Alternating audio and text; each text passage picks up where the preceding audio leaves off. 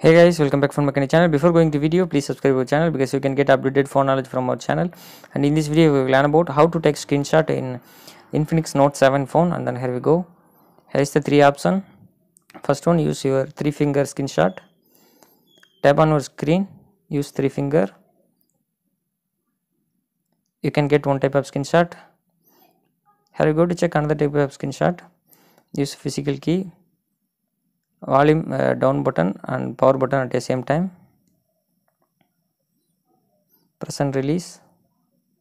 You can get another type of screenshot. Here is the third way. Open notification or uh, open smart side panel here. You can see here screenshot option.